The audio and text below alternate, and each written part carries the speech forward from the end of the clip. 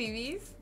Welcome back! This is the fourth video in our VRoid tutorial series. Our last video we went over hair meshes and customizing hair for your models.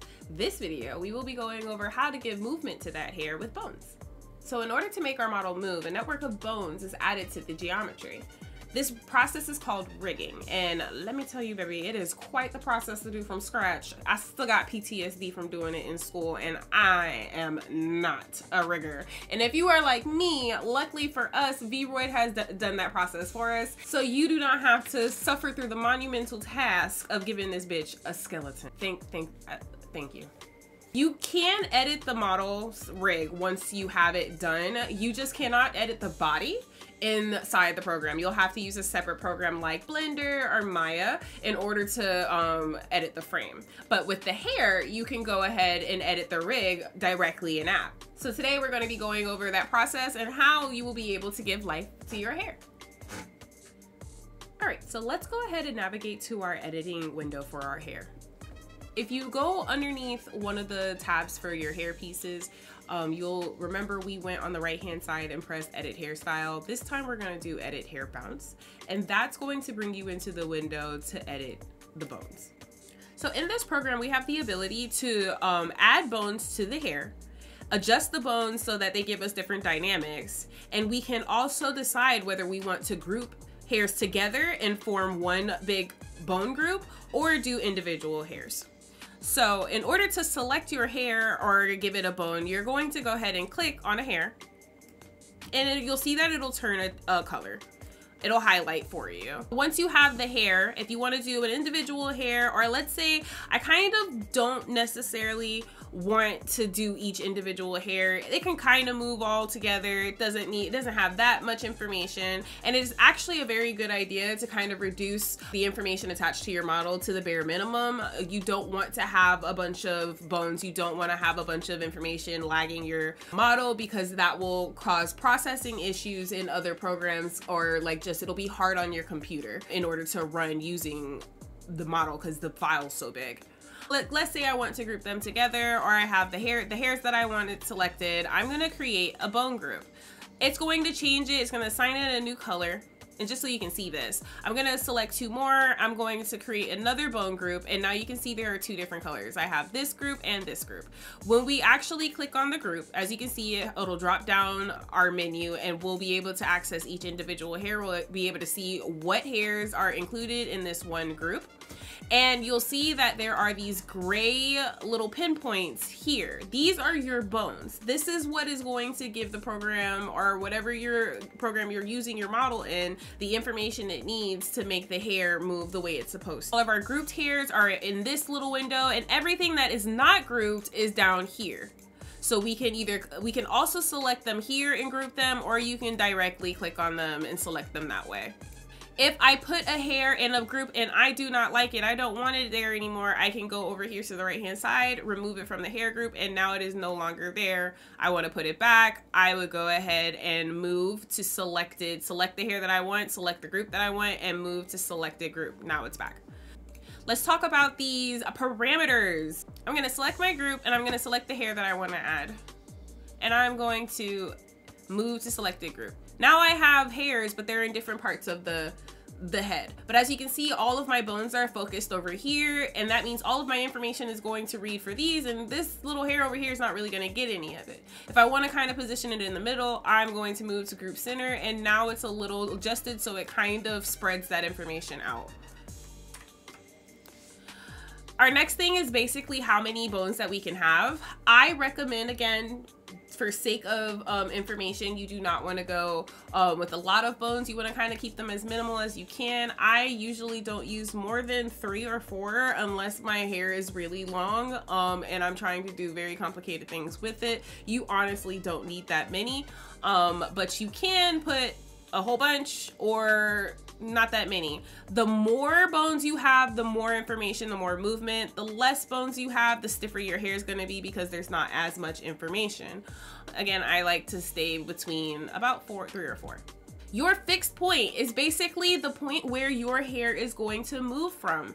So I'm going to actually put one fixed point really high on the head And then we're gonna put the fixed point on this group really low. And then we're gonna go ahead and see. Unfortunately, at this moment in time, as far as I know, there is no way to see it live, the movement live in the editor. You're going to have to go ahead and go out. You can save this. I already have my front and back, or my front and extra, so I'm just going to save the back. I'm gonna overwrite it. And then we're gonna go to our camera, which is our live view editor. And I just wanna show you the mo movement. So basically I went into poses and animation. She's in the running animation. And I used this just to kind of see the bounce. So we had our two fixed points here. This one has the fixed point up really high and this one has the point really low. As you can see, our hair is moving from this point of her head. It's wiggling around. She's got a lot of movement based on where we put that marker. On this one, the fixed point was a lot lower, so all of this is still while we get a little bit of movement at the bottom. Stiffness is basically how the hair moves in like um, like flowiness. So the stiffer it is, the less it moves, the less stiff it is, the more it moves. So I'm gonna turn the all the way down on this first group, and then on the second group, we're going to yank that bitch up. And now let's see the difference. So as you can see, this one's got like a nice little wiggle to it. It's very super, super flowy, whereas this one is not moving that much at all gravity is more like um you know self-explanatory. It talks about like the effects it has based on gravity. So like if you're in space your hair would be floaty around. There would be nothing pulling it down. If the gravity is really high that means it is not moving anywhere. Um that is kind of what that is. And then let's talk about your hit radius. So basically around each one of these bones there is a hula hoop basically of information being like we cannot touch here it, it basically acts as a barrier between one piece of geometry and another. So in order to keep from clipping when you're when when you have things that are clipping into your face your clothes your hit boxes are a little too small. When you make them bigger they tend to um, read as like oh i can't touch this so i'm going to stay away from that. I'm going to show it to you just so you can kind of see. So on the first one we're going to turn it down and on this back one we're gonna turn it up. And as you can see the little dots get larger. So it's our hula hoop around our joints are just getting a little bigger. I'm going to save this. This one is basically like oh can't get nowhere near this ear. Nowhere near here. Whereas this one is a lot closer to um the head and you can see it clipping through the ear. I'm gonna go ahead and delete these bone groups, which you can do with right clicking and pressing delete bone group, delete bone group. And now it's going to, all my hairs are back in unselected. And what I can do here is I can select all of them and auto generate a bone group which is basically going to divvy up your your hair in in a way where it just automatically adds bone groups. You can also edit the amount of groups that are generated by this slider right here. So if you turn it down um, and select all your hair, it's going to group it in as many groups as you designate it to. So this is also a really good way to kind of get your hair done very quickly. You don't have to go in and add hairs individually. I would start here if this is your first time and then you can make adjustments as you go.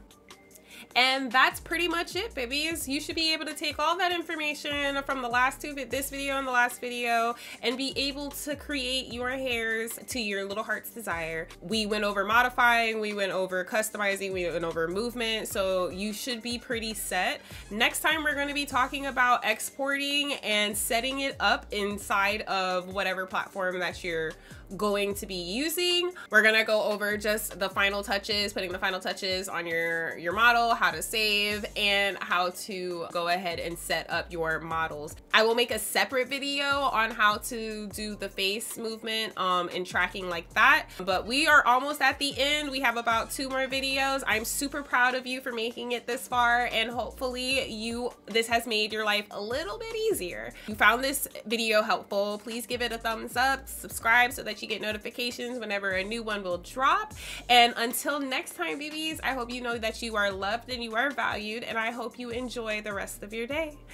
Bye!